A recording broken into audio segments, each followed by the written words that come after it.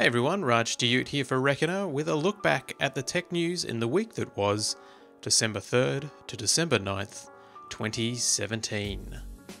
Facebook launched the Messenger for Kids app this week. The new standalone app allows parents with an existing Facebook account to sign up their children to the new service and control whom they connect with. The app is full of Snapchat like filters as well as stickers and curated GIFs that kids can use whilst talking to their approved relatives and friends. Available now in the US on iOS, the app will launch on Android later this month. Qualcomm held the second annual Tech Summit in Hawaii this week, making a series of new announcements. The first, a new line of laptops running on Qualcomm's ARM based Snapdragon 835 chip.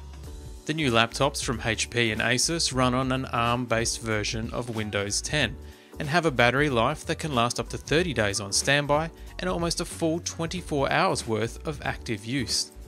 The first of these, the Asus Nova Go, will be available in early next year for US 599. A new partnership with AMD was also announced at the summit. AMD is looking to create a new line of always connected ultra thin laptops using its Ryzen mobile processor in conjunction with Qualcomm's LTE modem as used in the Snapdragon processors. The new laptops are expected to hit mid 2018.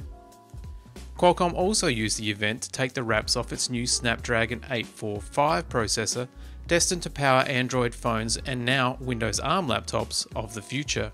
The new processor reportedly offers a 30% improvement in processing power and battery life, as well as enabling 4K HDR video capture.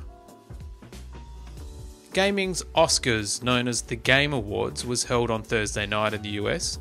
Game of the Year honours went to The Legend of Zelda Breath of the Wild, as many expected, but it was the awards announcements that offered the most excitement.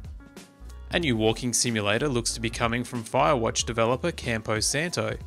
Called In the Valley of Gods, the game is still under development and isn't due until 2019. Hideo Kojima's eternally obscure Death Stranding had an extended trailer confirming how truly bizarre and little we know about the game.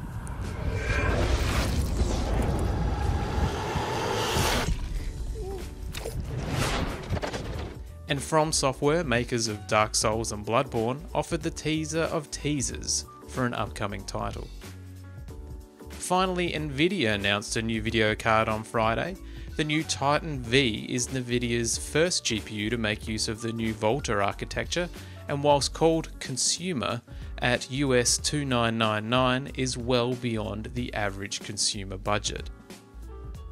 That's it for another week. I hope you've enjoyed it. If you did, then please hit that like, love, applause, or thumbs up button on your platform of choice and tell a friend about the show.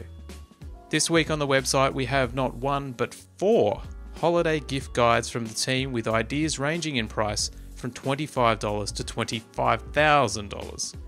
You can also catch me playing through the first hour of the Game Awards winning Wolfenstein 2 The New Colossus. Thanks for tuning in, have a great week, and bye for now.